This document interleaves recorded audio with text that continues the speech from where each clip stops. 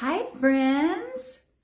So good to see everyone. Jonnie Goodmanson here. I am uh, having the distinct honor of being able to bring you a teaching today.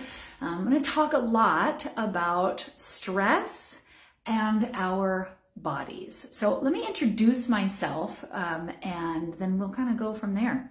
Um, as I said, my name is Jonnie Goodmanson. I am the Director of Programming for Revelation Wellness. I have the honor and privilege to put together a lot of our challenges, um, work with the collaborators who are writing and bringing the material together, and then also um, our review. So all the classes that our instructors take that kind of train them in the niche areas that they're going to be working in. Uh, so that's what I do with Revelation Wellness in my career, um, I am a trained pastor and I love, love, love movement as a way of learning to embody our faith. And I did that for a long time as a massage therapist. So I've been a massage therapist for 22 years. And in that 22 years, I taught a long time for the massage college that I actually graduated from. So I graduated from massage college uh, when I was I think I was just such a baby. I think I was 21 or 22 years old. And I taught for a long time traditional Chinese medicine concepts and things like that. Things that help us to understand how our thoughts affect our bodies. I was in platoon two. Can you believe it? I was in platoon two. I think there were like five other people with me. We got a lot of individual one-on-one -on -one attention and it was wonderful um, because we got to learn so much about what it looks like for what we believe about Christ to be expressed in our bodies. So that's just a little bit about me. I am a nerd loving all things anatomy and physiology. So I also, as part of my um, after massage training, I taught at the massage school that I graduated from, from, from a really, for a really long time. And so at that massage school, I started teaching at the cadaver lab. So we had a cadaver lab and I started teaching anatomy and physiology and pathology, all those concepts um, that just kind of helped the students um, become the, the, the best body workers they could be.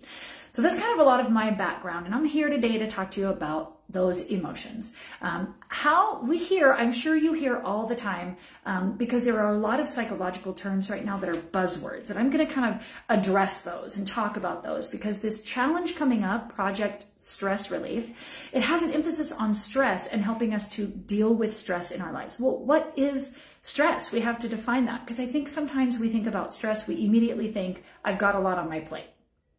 I've got a lot of pressure in my life.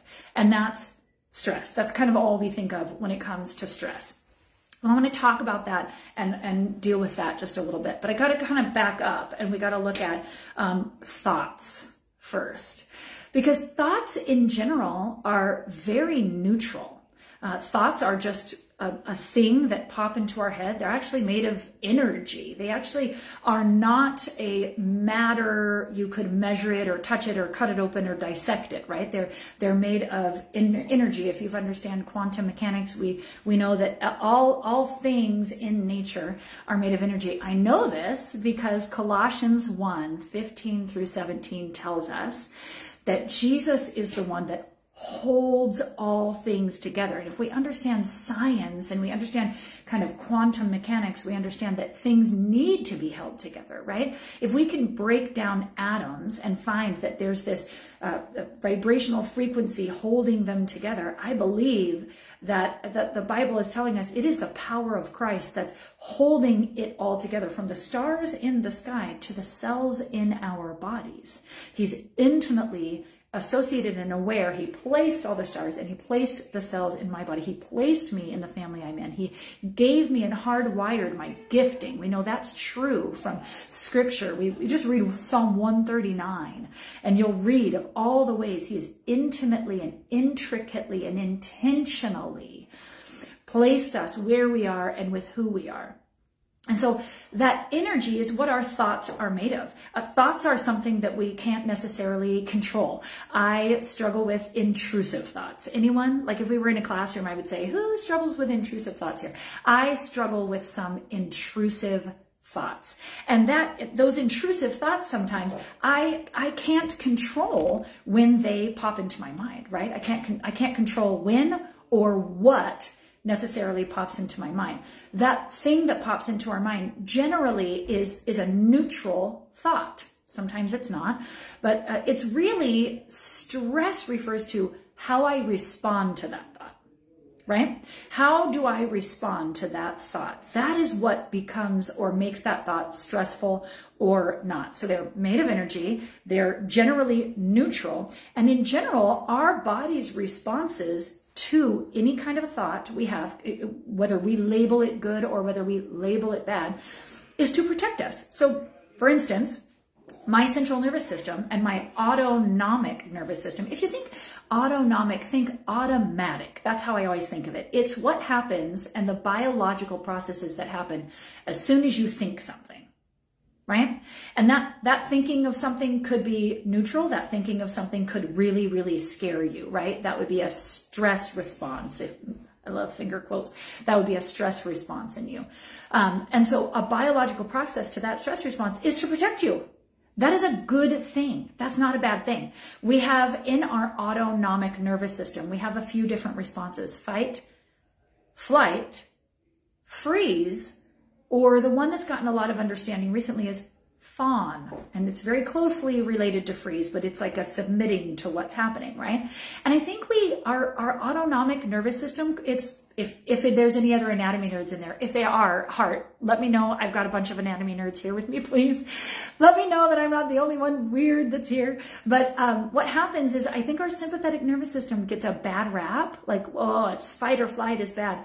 Fight or flight is not bad. Thank you. I see you. I see you. Um, fight or flight is not bad. It is good. It's what makes it so that when we're little and we touch a burner, we won't go touch a burner again. It's what causes us to make certain reflexive decisions that protect us. Above and beyond that, just your normal body processes.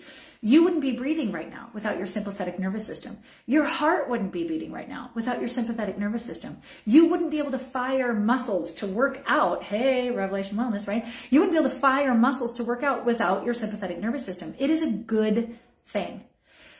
Though when we start to view a neutral thought or a neutral thing that is not dangerous as stressful, that's when our bodies start to respond. So these are normal biological processes that are good. So what happens is as we start to have experiences in our life, when we have things that make us feel unsafe, which, hello, we live in a broken and hurting world.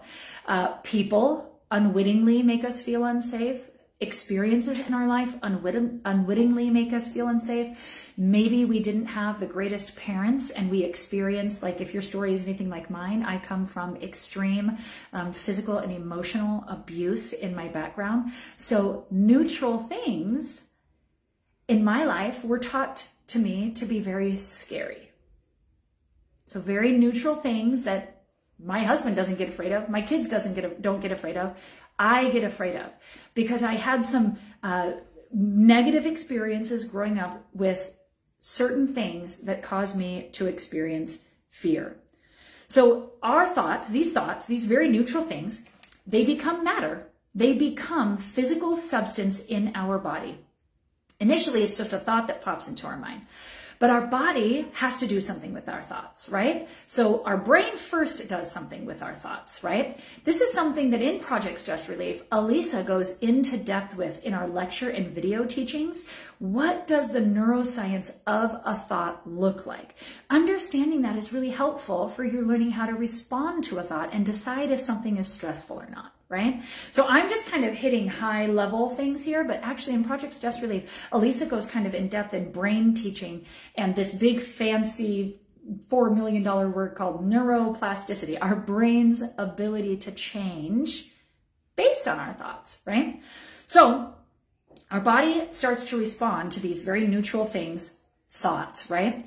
Uh, one of the things that I, I always say is your, you have a testimony written on your body on your person. The central nervous system is the pen and the endocrine system is the ink. So every thought that you have is writing on your body. Every abusive experience I've had is, is written on my body. And my body remembers all of those experiences. And so because my body remembers all of those experiences, I respond to almost every one of my thoughts, right? Until I'm trained in how to learn to respond to those thoughts instead of react to those thoughts. Anybody? Anybody uh, raising teenagers out there? I just finished raising two. I have a 20 year old and 18 year old, and then I have an almost 13 year old living at home with me now. Um, and so I'm still raising teenagers.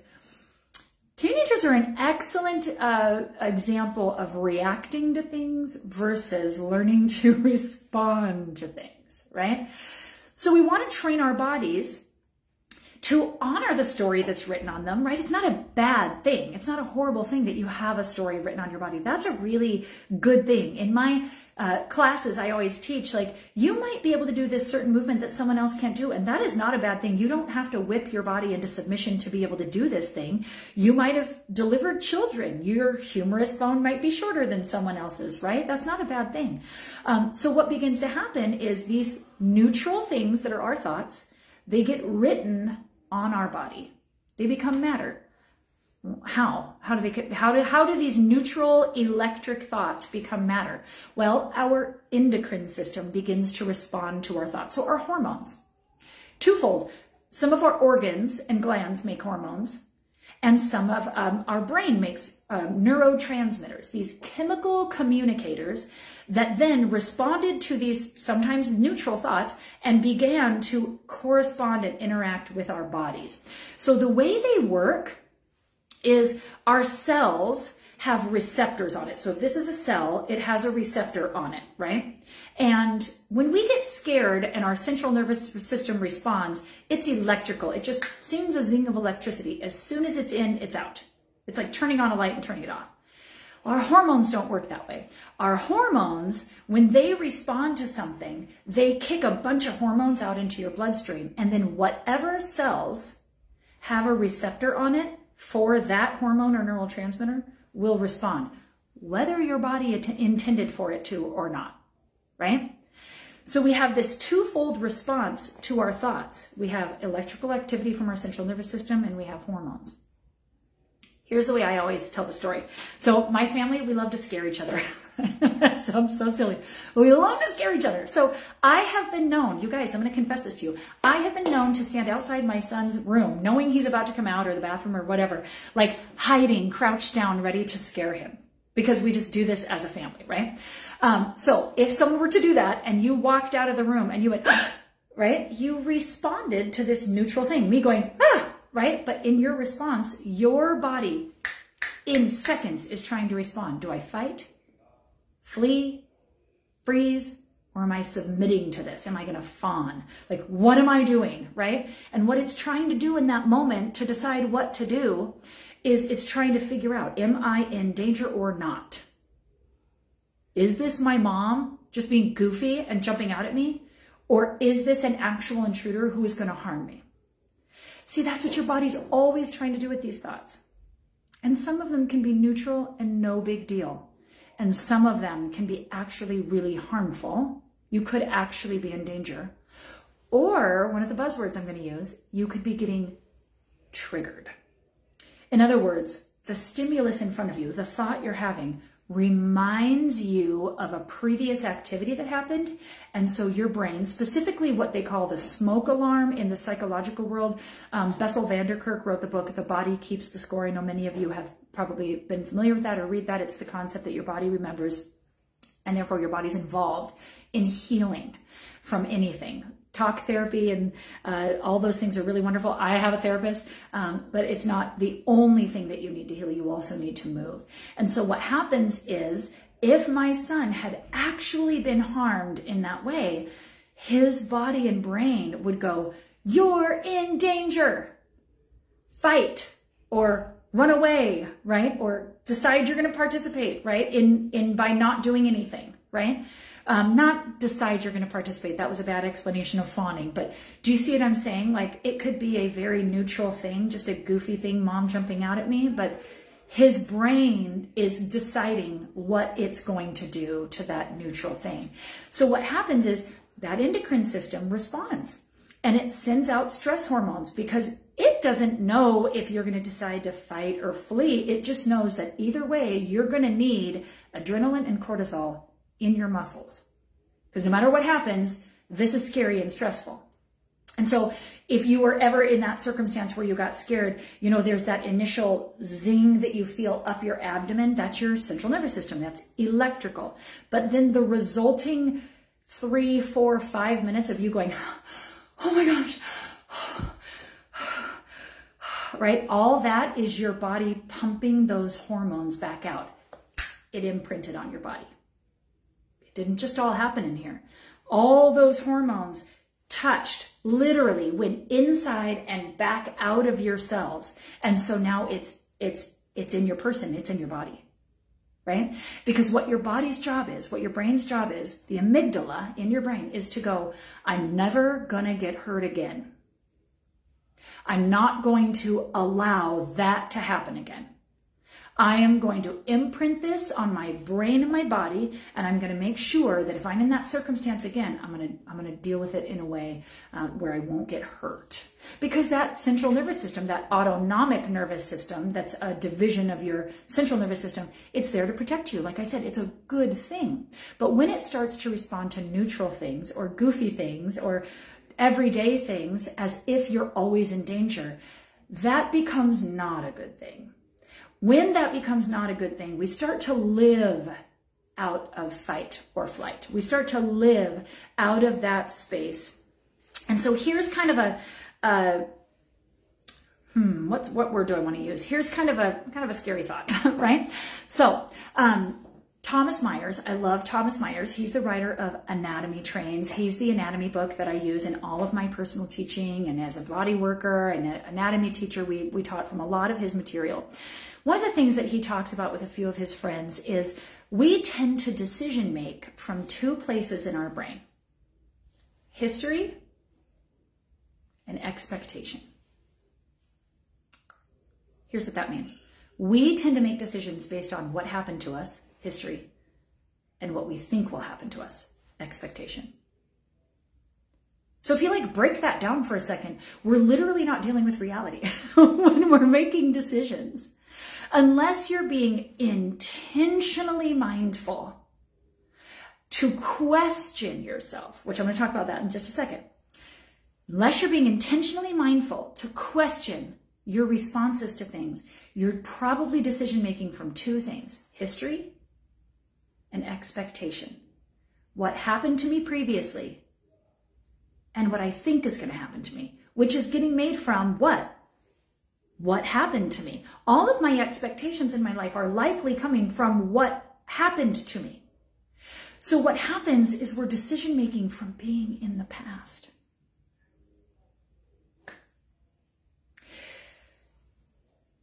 Great news. the Holy Spirit disrupts this whole process. The greatest news ever. The Holy Spirit disrupts this process. Why do we know this? Because Paul in Romans 12 told us to do something. And I don't think it would fall under commands, um, but I, I like to think it was a command because I needed it to, to, to um, really live from a peaceful place in my life, right? And that is this. He says, be transformed by the renewing of your mind.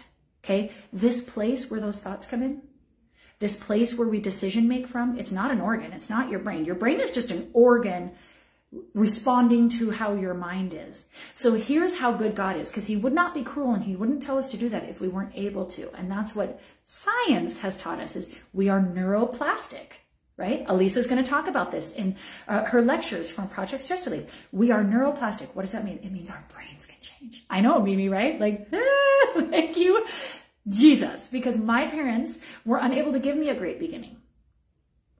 I'm hardwired in some things. Sorry, I'm going to cry a little bit. I'm hardwired into some, in some things to be afraid. And so I have had to do a lot of work around training myself in that way. So I'm going to share a testimony with you about some trauma that I experienced. and the, some of the results. So um, when I was younger, my mom uh, really tried to keep us away from our father um, and went to great lengths to do that. One of the things that she did at one time was she had um, someone stand outside and throw a hammer into our window at night to make us think it was our dad um, messing with us. So from that moment on, right, I had this experience I was watching TV. I'll never forget it. I think I was about six. I was watching TV and out of nowhere, it, this hammer flew by my head and it hit the TV, right? So all my little mind knew was, right? I couldn't, my, my brain was frantically working overtime to categorize what just happened. Um, I have no bucket for that. Um, nor, if we understand the Genesis story and the garden and the shalom that God created us to be, nor was I made to live in this kind of fear. Thankfully, God made my body to be able to respond. But I, I experienced this fear, and you could imagine the resulting fear of being by myself alone at night. I'm 43, and it still affects me. And my body still remembers, right? So I can be sitting down somewhere and I can hear something at night. And you guys, that's what a trigger is, right? It all floods my body all over again. Right? So Project Stress Relief is all about us learning how to undo all of that. Because while my body responds the same at a 43 year old woman from what happened to me when I was six, I now have a transformed mind. And from my transformed mind, I can begin to calm myself, soothe myself, and with me and the Holy Spirit together, I remind myself, you're not that helpless six-year-old anymore. You are a very capable 43-year-old woman. This is not happening again. You're not there again. It's okay, right? There are so many tools that can help you with that because your body does remember. And there are some specific areas that certain experiences like to show up in your body, right? And there's these old um, quotes that we have like shouldering burdens, right? That's intentional, right? We have found that shoulders are an area that some of these thoughts tend to kind of settle in if we feel um, like we're shouldering too many burdens. What will literally happen, let me show you what sometimes can, can quite literally happen, is as we start to live in a chronic state of fight or flight, our our traps, these muscles, this, this head of our musculature right here, that's called your traps, right? And we'll start to just do this, right? Because we're thinking these stressful, stressful thoughts and we'll start to hold tightness in one area of our body. And we're literally holding, if you will, the thoughts there, right? Because what are you doing? What's your body doing by doing that? It's getting ready, right? When you throw a punch, when you're about to fight or flee, you're not going to go like this and bring your hands behind your back and expose your most vulnerable areas, are you? No, you're going to come here right? I'm going to turn in, I'm going to lift my shoulders, I'm to drop my head, I'm going to collapse right here, and I'm going to get ready. And what am I doing? I'm taking all my vital organs and I'm protecting them because I'm going to fight. So that's what happens when we start to have these thoughts settle in our body. Um, our hips, our hips are a very common area when we feel unsupported, right? Our hips are the core of our body, right? Um, any, I know, I know our core, like our belly musculature gets all the glory for uh, being the powerhouse of our body and the place, but really any muscle that attaches onto your pelvis, so your thigh muscles, your abdominal muscles, your obliques, all those things. Any of those things that attach onto your pelvis are your core. And that is one of the areas of the body we have the most support. And so it's not uncommon as a body worker, I found it's not uncommon for years and years and years when someone would come in and say, um, I would say, is there any particular area you would like me to focus on? And they would say, oh, my low back has been bothering me. And the very first question I would ask is, so what's going on um, in your stress life, right? And what I would start to listen for is, do you feel unsupported? If you feel unsupported, there is this tightness and this clenching that tends to happen in our glutes. Like think about clenching your glutes and clenching your teeth, right? We get all stressed and we start to clench when we don't feel support. And that can be for so many reasons, right? We could not be asking for what we need. We could actually be unsupported in certain situations in our life or our work, our work environment or things like that. So there are these very specific places where things tend to show up. Um, I'll tell you for me, one of the areas um, I will not, not all the time, um, but I will often wake up with a headache and one of the things when one is nervous or scared and we lift our, our shoulders up like this, we have to keep functioning in our daily life. So our, our tendency is not to put our head down. Our tendency is to put our head up like this. So we're what we're trying to do in our stress response is we're opening our eyes and we're taking in as much as possible. Because remember, in my stress response, I have to decide, am I running? Am I fighting? Am I am I frozen in fear or am I deciding to submit to this experience? Right? Those are high level look at the four responses that we have. And so I tend to often wake up with this area right here really tight and I, I sleep like this, right? So I sleep with my chin jutted out and then it doesn't help that I'm a side sleeper. I love sleeping like this and that's like horrible for your neck. Uh, whole, teaching for another time, right? But um, I tend to wake up and I'll and I will kind of think through. Okay, did I have a dream? Did it like what happened that in my sleep I was feeling that tension and fear, right? So our thoughts are generally neutral, right? It's how we respond to our thoughts that make them stressful. And then we're responding, we're trying to respond, respond to our thoughts, and we're generally using history, what's happened to us, and what we think is going to happen to us to decide how we're going to respond to our thoughts, right? So that's that's generally kind of how they get they get stuck in various areas of the body. And like I said, there are different areas of the body that they tend to get stuck. We've got that carrying the weight of the world on our shoulders, the lack of support. It even comes in when like a mom yells at their kid. So you can't you can't see me right now, but I'm holding my hands on my hips, right? Like Jonnie, Suzanne Goodmanson, get over here, right? You're, they're getting yelled at because they didn't do something they were supposed to. And as moms, hello, we don't always get the support we need. So we even it sometimes will touch the area of our body. Um, it, we, we tend to see this too in, in defeat. In defeat, we tend to collapse in around our heart if we feel defeated, right? That's why power poses.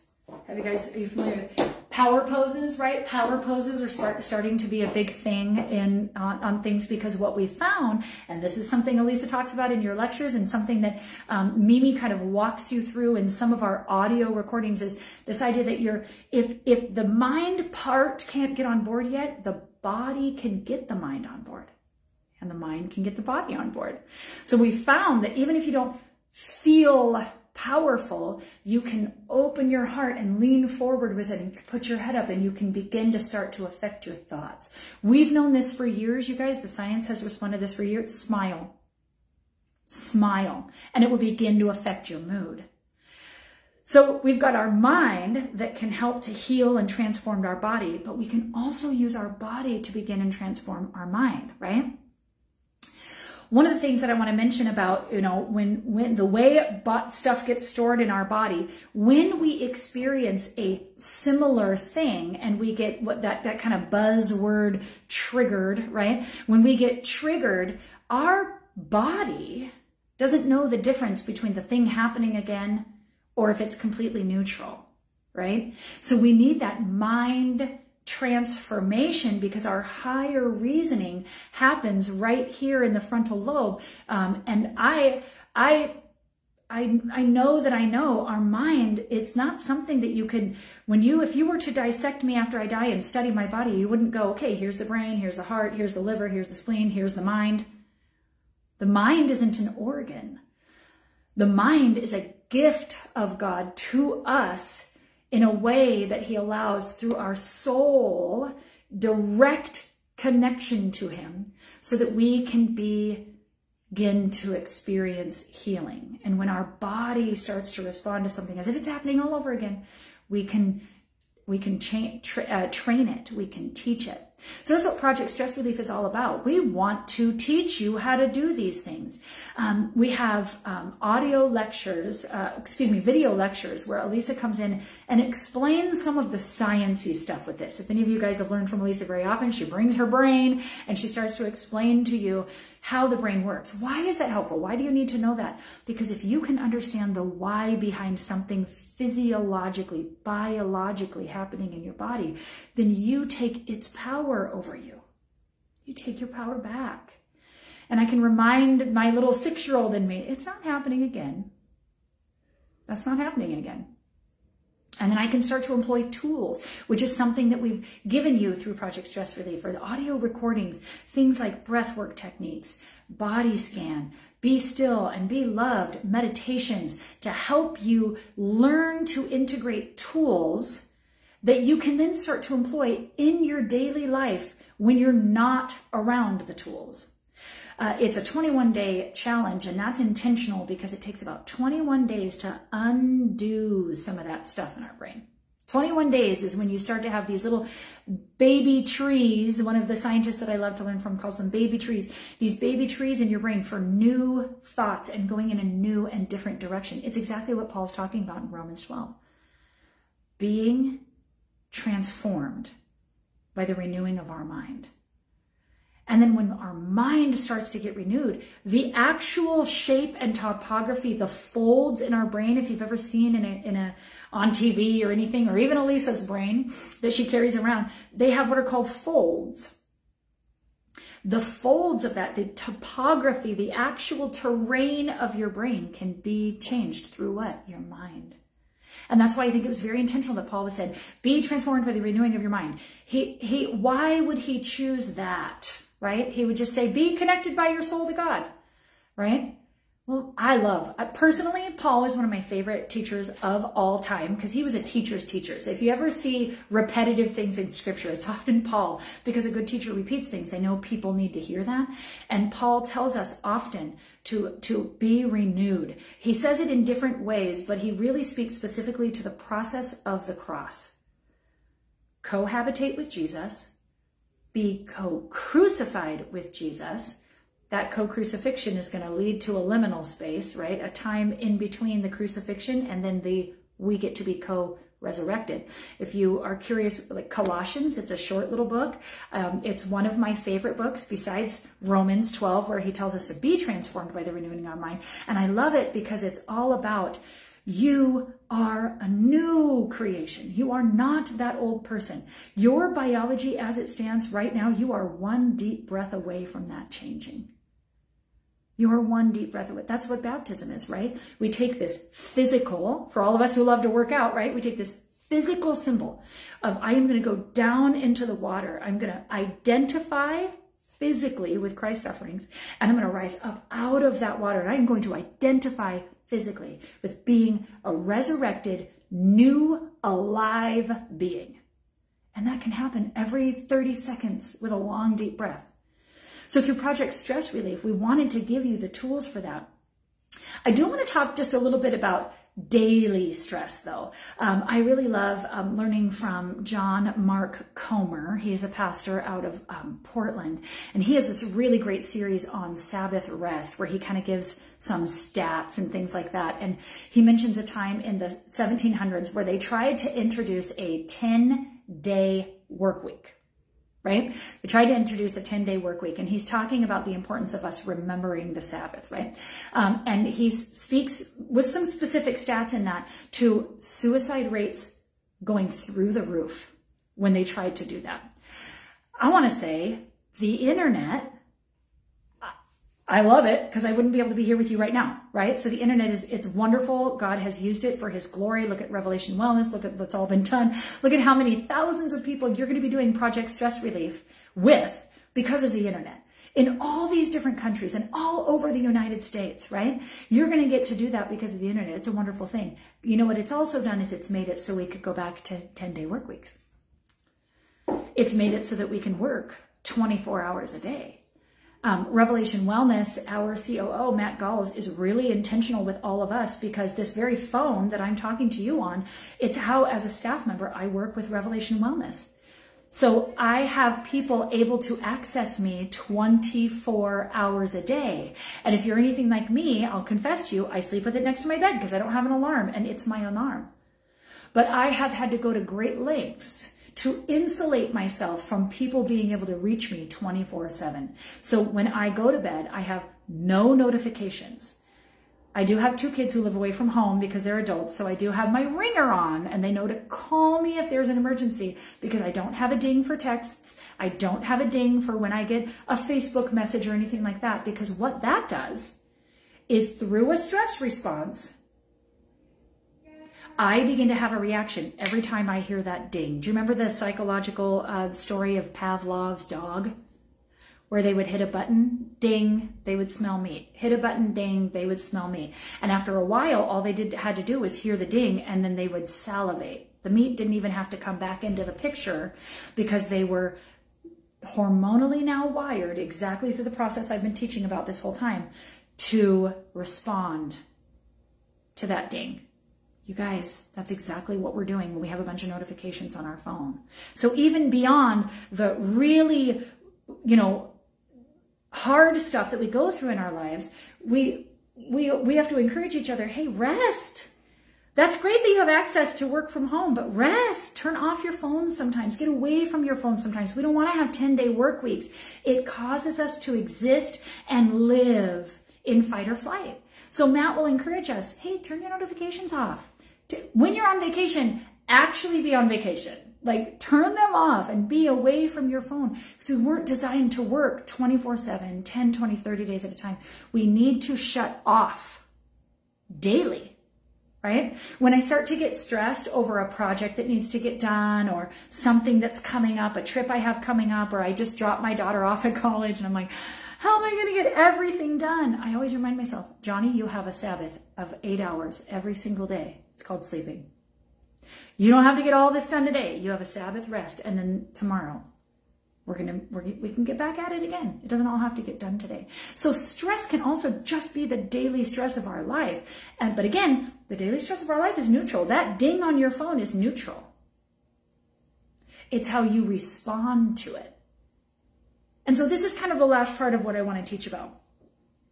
It's, if it's how we respond to it, then what's important to us to remember is that we're in the driver's seat. We're in the driver's seat of these responses. And if stress is neutral, then I get to choose how I want to respond to stress.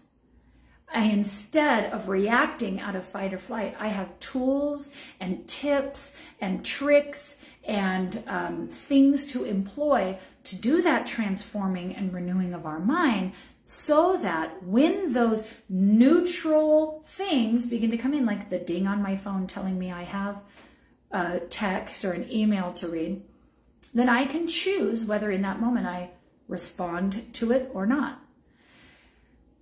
That's an important part of what we do. So the last part of, of the project stress relief that, that is going to be a big piece of that is the devotional. Because our power to do this does not just come from us. Because who among us knows, I don't have the power to do that. if I did, I would have no stress responses. I don't have the power to do that. I would have no stress responses.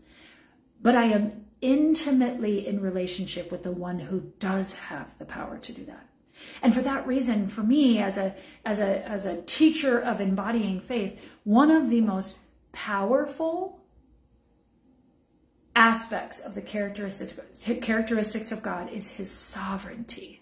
I know that those who struggle to decide who God is don't like that piece of who God is, like that he's just this all-seeing, all-knowing judge eye in the sky with his thumb on us. But as someone who was raised not in a safe environment, not in a trusting environment, not in a space where I was free to just be a child, the fact that there is a loving, good, relational, trustworthy, faithful God in charge of it all is so comforting to me because it reminds me I'm not in charge of it all. I, in fact, one of my other favorite pastors that I love to learn from says, you make a really crappy God. And can I just tell you all listening, ready? Lean in, look at my eyeballs. You make a really crappy God. You, you're not the God of your marriage. You're not the God of your children. You're not the God of your household. You're not the God of your city. You're not, right? You're not a God. And when we think it's all on our shoulders, we are placing ourselves in the position of God. And so I just have this little visual. I'll never forget this, ever forget this. Alisa told me when Revelation Wellness was first started to be born in her gut and God was just downloading what she wanted it to look like. She said sometimes she feels like a lap dog on God's lap and he's just petting her and whispering all these wonderful things into her ear. And he whispers, I, you know, I'm going to build Revelation Wellness and this, this idea. And she goes, awesome. And she jumps off his lap and just starts to run for it. And then she forgets she's on a leash and she gets pulled back, right? Where God goes, no, no, no. I'm just telling you what I'm doing. I'm not putting it all on your shoulders. I'm just telling you what I'm doing, right? So one of the, the most comforting aspects of who God is, is he's sovereign. It is not all on your shoulders. It is not all expected for you to figure it all out. Insert it all, your life, here. It's not all on you. You have the sovereign God, capital T, the sovereign God of the universe on your side. Scripture says in various areas that he's behind us, he's beside us, and he goes before us. You are literally surrounded by love, by goodness, by trustworthiness, by faithfulness, right? He bends his knee to hear us. Romans also tells us that the Holy Spirit and Jesus, when we are in need and cry out, start praying with us to God, right? So when we have these stressful experiences, be they actual, because I want to make sure that you don't walk away from here thinking, oh, all stress is neutral and no one's ever in danger. That's not true. Some of us have very, very painful stories of having been in real danger, right?